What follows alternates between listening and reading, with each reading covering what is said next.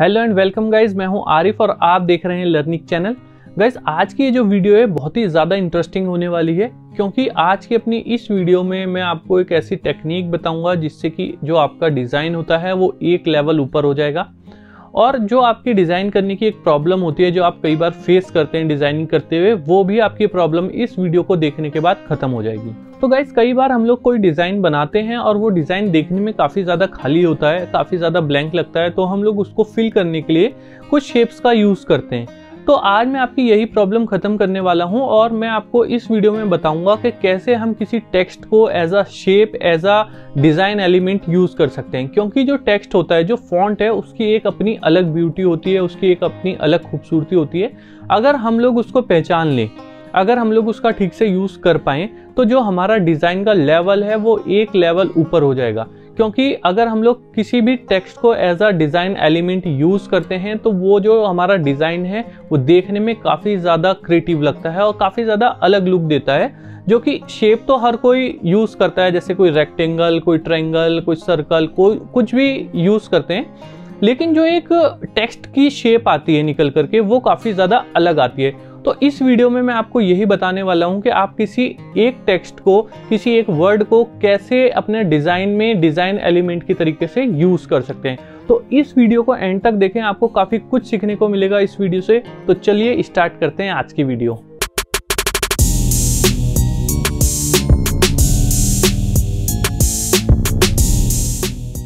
तो गाइज़ मैं आ चुका हूँ फोटोशॉप में और यहाँ पे मैं एक फ़ाइल क्रिएट कर लेता हूँ 1080 ज़ीरो एट ज़ीरो की और विथ 300 हंड्रेड रेजोल्यूशन के साथ।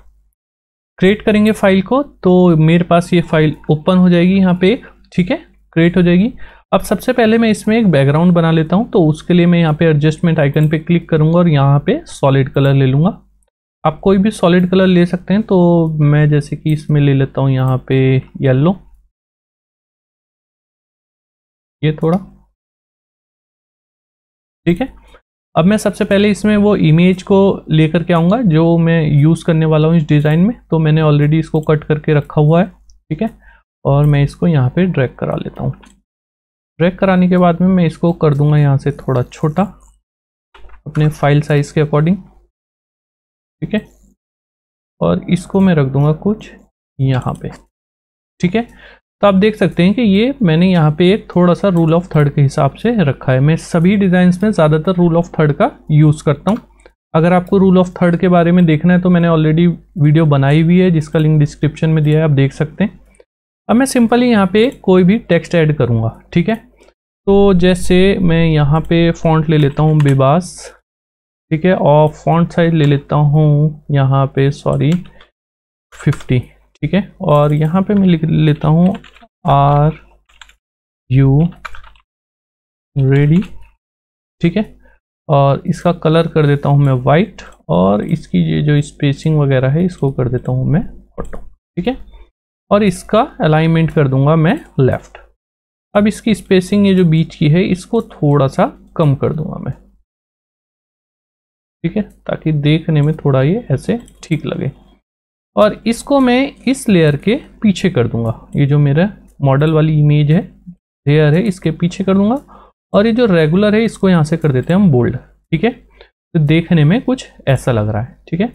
अब मैं सिंपली इसके नीचे और भी टेक्स्ट डाल सकता हूँ तो मैं यहाँ से कुछ भी टेक्स्ट ले लेता हूँ। जैसे मैं यहाँ पे यूज़ करता हूँ टाइम्स का। काफ़ी सिंपल फॉन्ट है ये, ठीक है?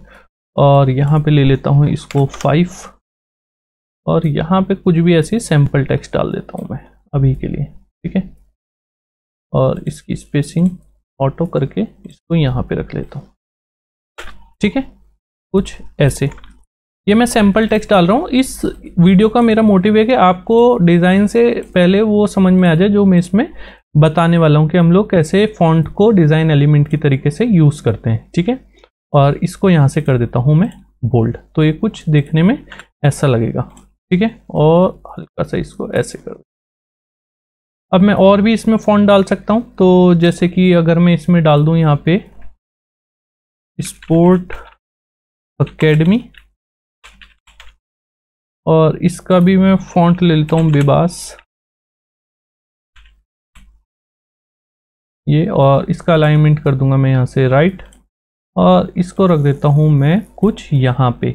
यहाँ पे रख सकते हैं आप, दोनों साइड में से कहीं पे भी रख सकते हैं इसमें। और इसको थोड़ा सा मैं बढ़ा देता हूँ अराउंड 15 ठीक है? और इसका साइज़ यहाँ से स्पेसिंग कर दूँगा कम, ठीक है? अब 15 थोड़ा ज़्यादा है, इसको यहाँ से 12 कर देते हैं और स्पेसिंग थोड़ी सी और कम, ठीक है? जो अकेडमी है, इसका कलर मैं यहाँ से चेंज कर देता हूँ वाइट कर देता हूँ। ठीक है? तो अब मैं यहाँ पे भी कोई टेक्स्ट लिख सकता हूँ। तो जैसे कि मैं ऑल्ट प्रेस करके ऑल्ट को होल्ड करके और इसको ड्रैग कर लेता हूँ। तो यहाँ पे इसकी कॉपी हो जाती है और इसको कर देता हूँ मैं यहाँ पे जैसे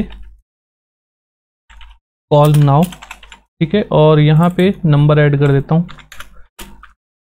कुछ भी नंबर आप कर सकते हैं ऐड मैं सैंपल दिखा रहा हूँ।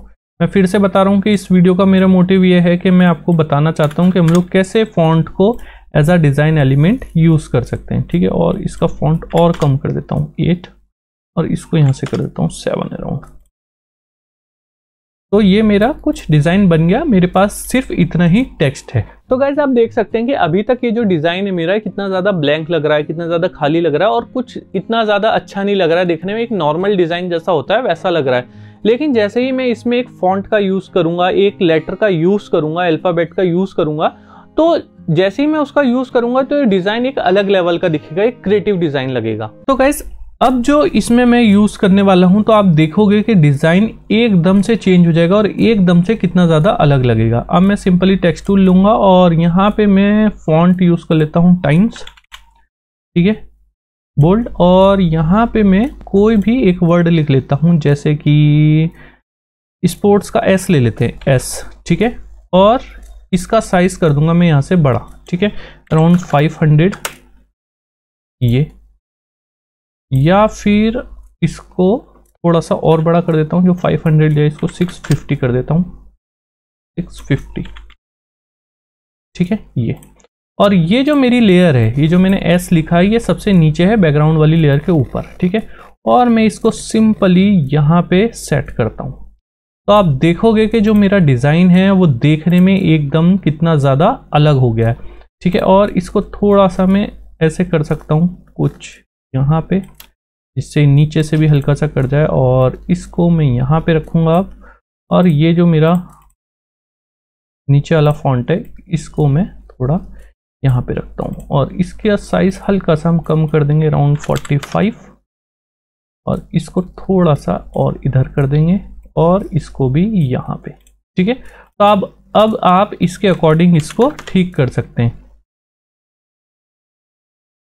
ठीक है? तो ये मैंने यहाँ पे रख दिया। तो आप देख सकते हैं कि जो एक सिंपल डिज़ाइन था, वो देखने में अब कितना ज़्यादा सही लग रहा है और इसको भी थोड़ा मैं यहाँ से कम कर दूँगा। अब आप अपनी शेप के अकॉर्डिंग सारा का सारा डिज़ाइन चेंज कर सकते हैं। ठीक है? और इसका जो कॉल नाव था, इसको मैं कर दूँगा येलो कलर में। ठीक है? तो आप देख सकते हैं कि डिज़ाइन कितना ज़्यादा एकदम से अलग क्रिएटिव डिज़ाइन बन गया। और इसमें मैं थोड़ी सी शेप ऐड कर देता हूँ। यहाँ कस्टम शेप में जाऊँगा और यहाँ पे मेरे को शेप्स मिल जाएँगी। और यहाँ पे काफ़ी सारी शेप्स हैं, जैसे कि मैं ये वाली शेप ले लेता हूँ और इसमें इसको कर देता हूँ ब्लैक और यहाँ पे ऐड कर देता हूँ कोई भी ठीक है? ये, ठीक है? और एक शेप और ऐड कर सकते हैं हम लोग सिंपली यहाँ पे इसको वाइट कर देंगे और इसको यहाँ पे ऐड कर देते हैं। तो आप देख सकते हैं कि सिर्फ़ मैंने एक लेटर का यूज़ करा एस का और उससे मेरा डिज़ाइन कितना ज़्यादा बढ़िया बन गया, कितना ज़्यादा क्रिएटिव हो गया। अगर मैं इसको यहाँ से अनबोल्ड कर दूँ, ये जो मैंने एस लिखा था, इसको ये जो बोल्ड रखा था, अगर मैं इसको यहाँ से रेगुलर कर दूँ तो भी बढ़िया लगेगा ये। और इसको मैं थोड़ा सा इधर ड्रैग कर दूँ तो भी अच्छा लगेगा। आप कुछ भी कर सकते हैं, ठीक है?